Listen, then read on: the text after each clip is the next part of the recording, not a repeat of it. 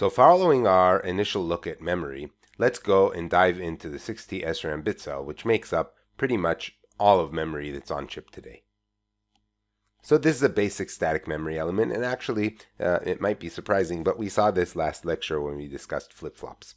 Okay, so what we have here is a pair of cross-coupled inverters, and this is actually a really um, ingenious idea. Cross-coupled means that this inverter, it drives an output that is then driven back to the input of another inverter. And the nice thing here is that if we have a zero, say, on the input to this uh, inverter, what we get is a one at the output to this inverter, and that is propagated uh, as a 1 to the input of this inverter. The output of that is a 0. And as you can see, we get um, a 0 on both sides. That's a bistable element. It's really uh, kind of a cool thing because depending on what we do, we always have this uh, stable situation where we either have a 0 and a 1 over here, or we could have a 1 and a 0 over here, and it will be stable and static in, in that type of a position. Um, we usually call the internal nodes Q and Q bar. Okay, it could be QB or Q naught or all kinds of things like that. And we usually say that the element, the storage element is holding a 1 according to um, uh, what the state is in Q. So if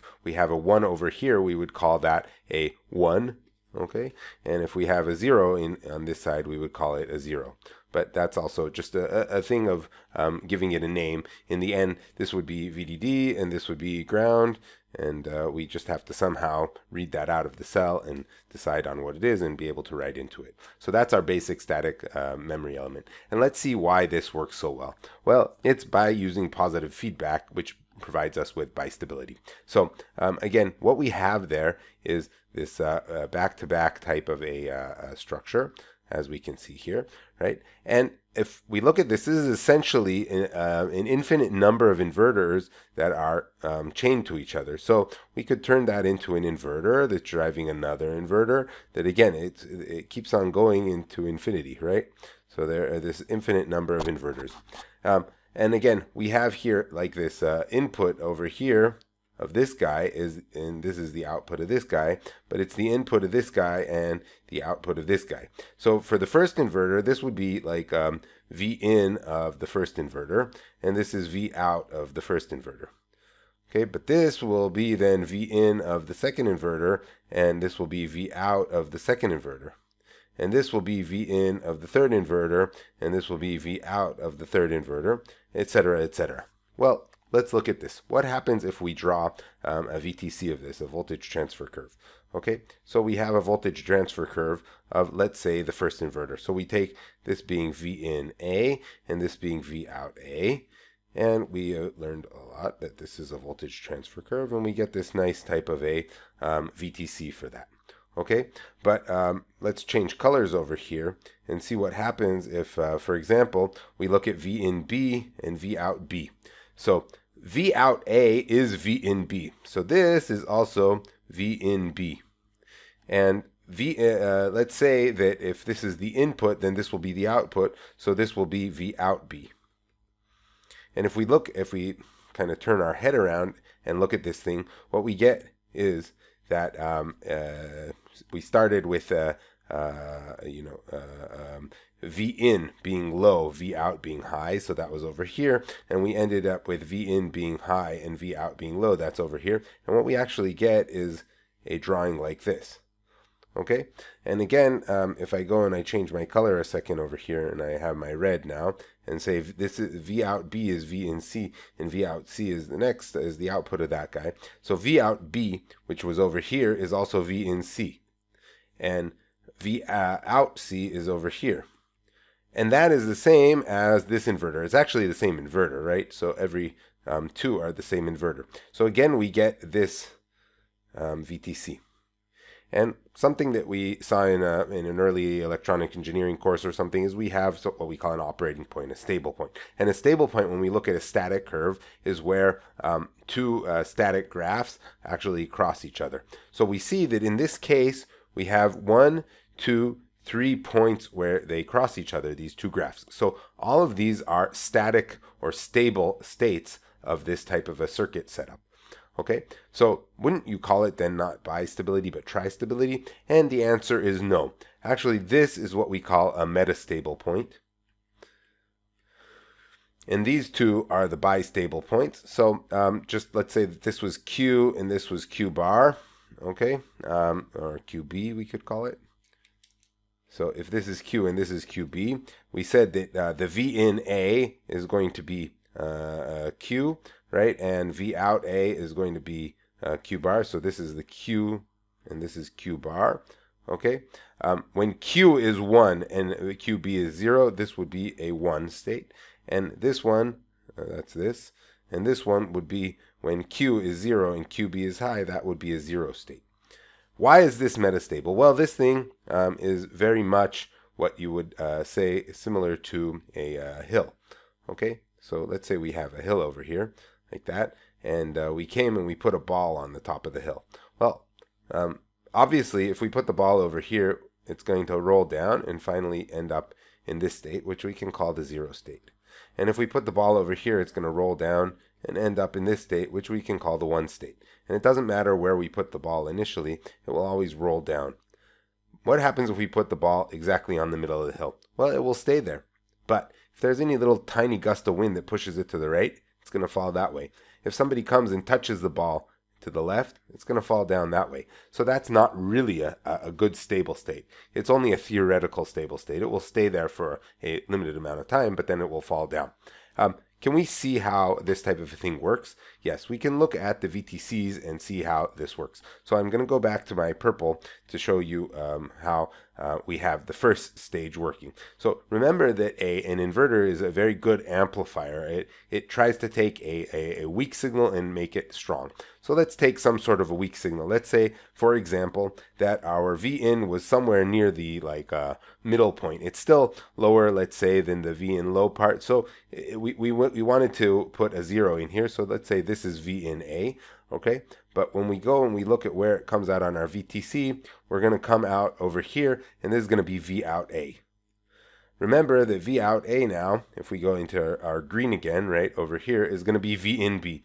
So this is the input now. This is V in B, right? It's going to be the input to our second inverter. And look where the VTC of our second inverter is over here. So it goes over here, and this is the output already. So this is going to be V out B. And we see that really quickly we came into a strong zero state. And of course, we're going to continue there being strong. So um, this type of a, of a uh, structure, it very quickly amplifies the uh, zero or one state and brings our ball over here down to the zero state or the one state. Yes, if somehow we would start over here right in the middle, we would get stuck over here. You see, there is this metastable point here but it's only a theoretical metastable point. Any type of uh, small deviance from this point will already throw us very quickly into one of our strong zero or one states. And so this is theoretical, but it won't stay there for very long. Anyway, so that is why a, an SRAM bit cell, which again was also used for the core of our flip-flop, is a bistability um, uh, structure, and it means that we can either be stable at a 1 or at a 0. It gives us nice noise margins, and uh, usually we won't get to this metastability state, and we for sure won't stay there for long. So um, how do we write into one of these cross-coupled pairs? And the answer is that the write write operation is ratioed. So we have our core of our bit cell here that has Q and Q bar. Um, let's add a switch over here to on the on the left side, an NMOS switch and we'll give it an enable and therefore we can take our input over here which we'll call D right? And we can over and we can just drive it onto Q and change the state from 0 to 1 or 1 to 0 etc well let's see. Does that actually work? Um, let's see. So again this is our first option that we had an NMOS write transistor. So we have our uh, cross-coupled pair over here and we brought in our NMOS write transistor okay? And we put VDD over here to right. And if we put a zero over here on, uh, uh, uh, well, we had a one over here, that's really good. Why? Because uh, an NMOS is really good at writing uh, zero. So we're going to be able to discharge this thing. We discharge it, this is going to go down to zero. It's going to flip that to one, and life is good. The problem happens that when we go to the one state, remember that driving a one when over here was initially a zero is not going to be good. Remember, we get VDD over VT here. The VGS is really uh, weak. It's really hard to drive um, a 1 through an NMOS. Remember, we have over here this PMOS on this transistor, which has now a zero, is um, trying to drive this node to one. Uh, uh, uh, excuse me, I made a mistake over there. We have an NMOS on this transistor. We have an NMOS over here that is has a 1 on this side and it's trying to hold this at 0 and we have to overcome the strength of this NMOS. Again, it was okay to overcome the strength of the PMOS with the NMOS over here to make a 0, but to overcome the strength of the NMOS with the P, uh, with, an, with this other NMOS is going to be really hard because this NMOS drives 0 much stronger than this uh, NMOS drives 1. So that's not a really good um, uh, option and it's going to probably fail. It passes a weak one and it's bad at pulling up against the feedback. Well, we can uh, uh take option two, which is now going to just be changing it to a PMOS transistor. Okay, so let's change this guy and use a PMOS transistor instead, and then we will solve this problem of driving a 1. We have, again, our um, NMOS that's pulling down to 0 over here. It has a 1 over here, and it's pulling this thing to 0. And um, this PMOS will probably be able to overcome it if it's a strong enough PMOS, and we'll be able to write a 1 um, robustly into the cell over here. But again, we have the same problem over here that once we would want to write a 0, okay? And, uh, uh, and this was being held by a strong PMOS at, um, at 1. We're going to have a hard time um, uh, driving through the PMOS down to 0. Okay, so again, we're going to have this uh, weak 0 and it's bad at pulling down against the feedback. Well, what else could we do? We could put a transmission gate. Hmm. Let's see if that'll work. So again, we have our cross-coupled pair over here, right? And instead of uh, instead of an NMOS and a PMOS, instead of either an NMOS or a PMOS, we'll have a transmission gate, right? That'll have both an NMOS and a PMOS. And actually, that works pretty well because we'll be able to both uh, pull down a zero here and push in a one over here and probably overcome the feedback that's driven by this um, this uh, inverter as long as we have really strong gates over here and are able to uh, uh strong uh, uh, transistors over here that are over to do it. However, the question is how do we read from the cell? And that's a, a, good question. And the solution comes out to be what we call a differential NMOS write. So we take our cross-coupled inverter and what we do is we put an NMOS on one side, and this NMOS is really good at writing a zero to this side. And we put an NMOS on the other side, and this NMOS is good at writing a zero to the other side. And by this symmetric type of a situation, we can either, again, drive this to zero or drive this to zero, which gives us the uh, uh option of driving a zero or a one into the cell. And we'll see in a second how we can read through this type of a structure. So that is our um, 6T NMOS cell. And again, so what we have here now is we have this cross-coupled inverter pair. Okay, and we have two NMOS transistors, one on each side. Okay, we will call this guy a word line and this guy a word line.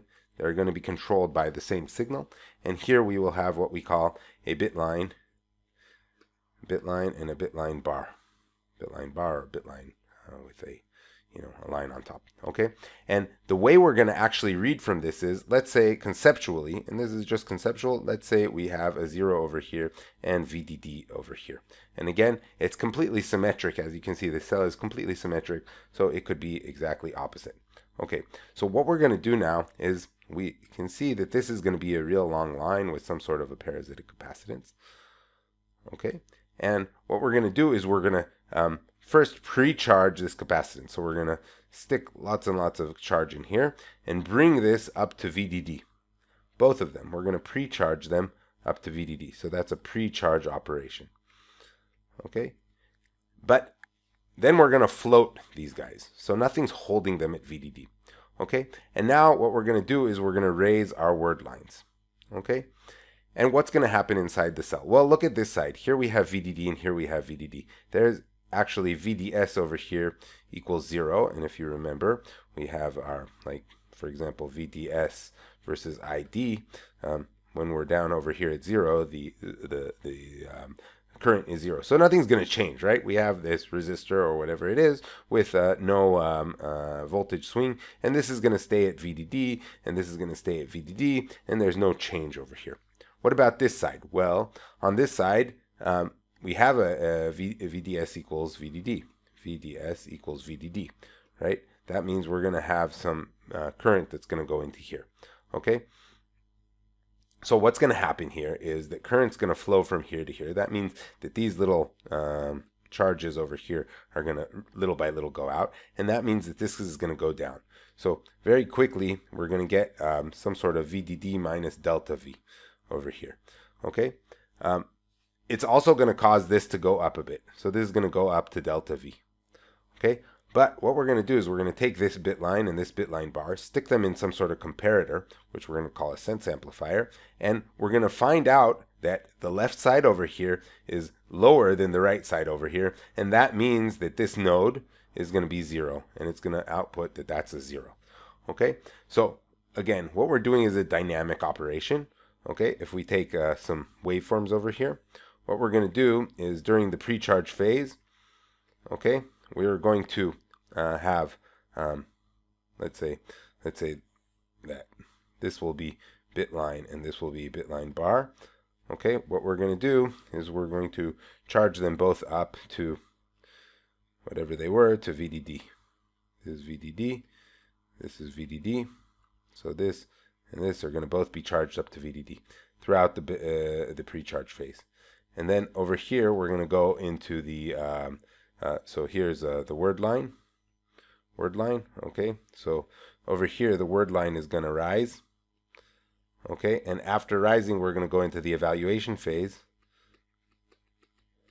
And during the evaluation phase, in this case, um, the bit line bar, this guy is going to just stay at VDD.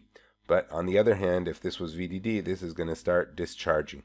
Okay, and then the sense amplifier, which would be over here, would be uh, maybe at some sort of a median phase uh, throughout the precharge. And over here somewhere, it's going to realize that there's a voltage difference between this guy and this guy.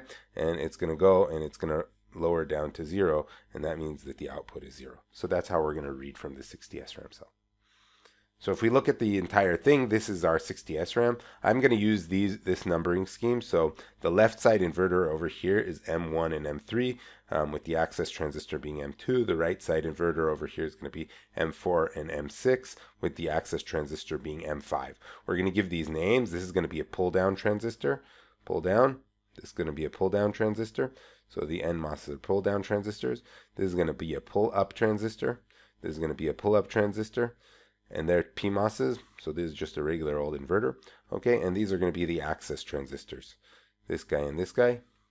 And again, this is going to be bit line, this is going to be bit line bar. I'm going to always draw it hopefully like that, that left side is bit line, right side is bit line bar. Bit line is connected to the Q node, bit line bar is connected to the QB node. So um, if here is 0 and here is VDD, we're going to call that a 0.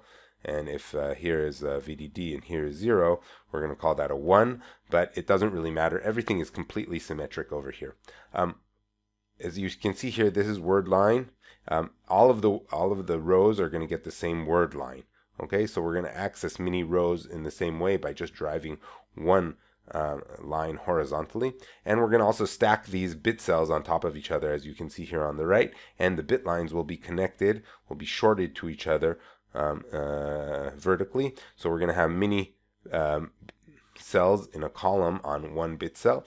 And that way, when we, um, we turn on one word line and we pre-charge the bit lines, we're going to have this uh, uh, cross between a bit line and a word line that's going to be able to choose uh, and access one single cell, which is what gives us our random access, right? Our RAM. Uh, we're going to be able to randomly access a single cell by um, crossing the word line. Only one word line is going to be selected a single time and by um, accessing a single bit line. So that's our basic uh, 6T SRAM cell, which we're going to be now discussing in more detail in the next parts of the lecture. Before we go on, I just want to go over the Computer Hall of Fame.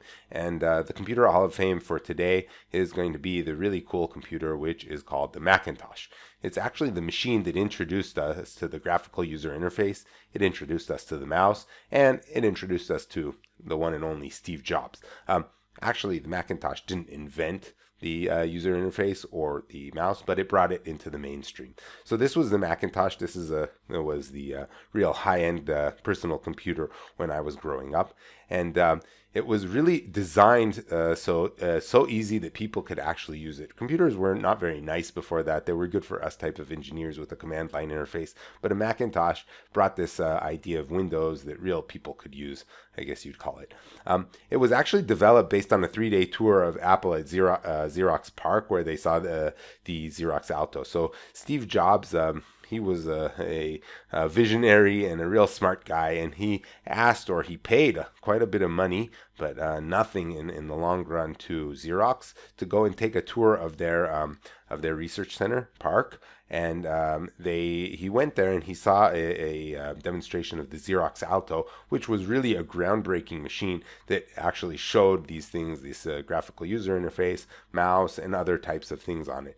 And the um, Xerox Alto was more of a um, kind of an engineering sample, uh, demonstrator to show the world what could be done. But um, Steve Jobs realized that this was something that really would be an excellent product, and went went back to Apple and said, "Okay, you guys design this thing for me. Let's go and sell it." Okay, it was introduced in 1984. It sold for a whopping $2,500. It had an 8 megahertz, 8 megahertz Motorola 6800 processor with 128 kilobytes of RAM. Okay, it included uh, such uh, classics as Mac Paint and Mac Write, which were the uh, initial kind of you know Paint program and the initial uh, word processor, graphical word processor, and it, it, sales declined at some point, and they eventually actually fired Steve Jobs from Apple in 1985. He came back, and we all know what happened since then. But one of the things I wanted to show you is one of the um, all-time best commercials that ever came out. Um, Remember, this was introduced in 1984, and uh, during the Super Bowl, this uh, amazing commercial um, was, uh, uh was shown. Just as a reminder, 1984 was the year of the Olympics in Los Angeles. That was uh, boycott also from the Soviets. So this was very, very patriotic, interesting. In 1984, of course, is uh, the book by George Orwell, where, as you can see, Big Brother is talking to the crowd.